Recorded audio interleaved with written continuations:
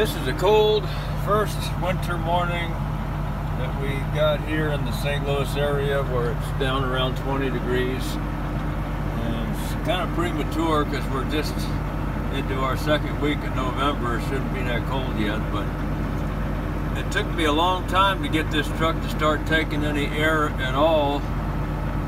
Um, I'm only getting showing about 70 pounds of air right now, and um, and that's because I was passing a blowtorch underneath the air dryer. In my case, the air dryer is right down here. If you saw my air dryer filter video, uh, passing a blowtorch underneath there uh, carefully because there is wires and plastic movement on it. And started taking air and um, I'm at my job and I brought the blowtorch back into the shop because it's not my blowtorch, it belongs to the company's shop here.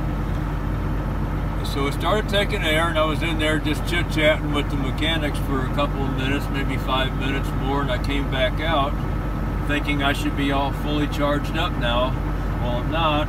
It's only taken 70 pounds and the air is spitting out of my compressor, not the uh, air dryer. If I gas on it, what's my RPMs? Right now they're a thousand. If I gas on it, it'll start spitting again, or it did. Let's see if it still does.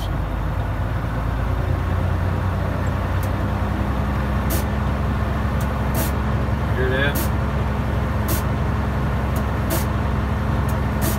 That's spitting out the um, relief valve on the compressor. So the, the air is still clogged up. And I'm not an expert on these air brake systems. When I find a leak, I just change the part that's leaking. Anyway, the guys in the shop were telling me I might need to take the hose off of the air compressor and pour some alcohol in it, try to get it to go through. Well, they were telling me that when I wasn't getting any air at all, and I said, well, it's not going to go through that hose. There's no air. There's nothing. It's not nothing's going through. So I have to wait until we get some air to go through. So now that uh, it is taking some air, maybe it's time to do the um, the hose, take the hose off, and pour some alcohol in it.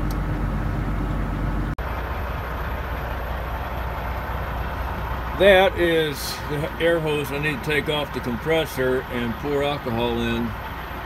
And I don't even have a wrench in my truck to fit that, so I'll have to borrow one from the shop.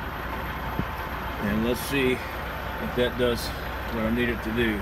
That's not my engine you hear running in the background. That's another another truck over here.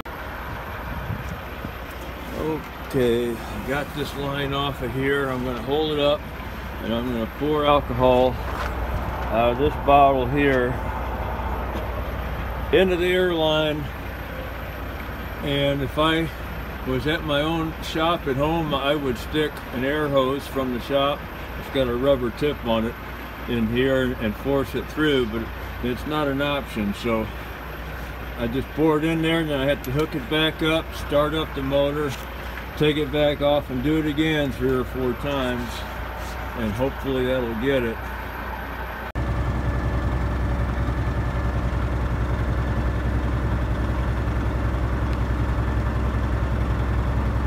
Looks like it's building air faster.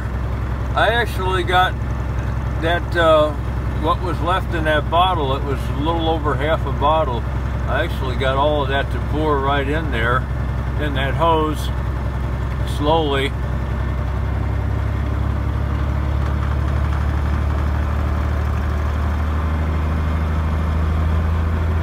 gassing on it pretty hard now and it doesn't seem to be spitting anymore. Up around what? 17, 1800. Air seems to be moving on up there, filling up the tanks. So that was it, apparently, I hope.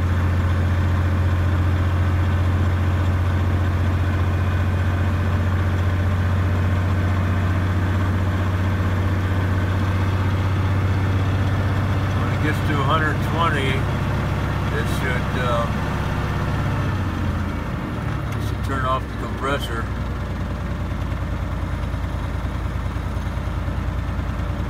There, I just heard it blow outside. I'm going to go on ahead and push in the trailer brakes. Send some air back there.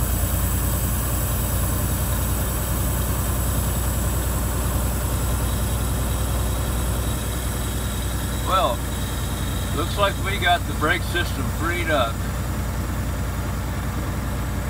Alright, thanks for watching.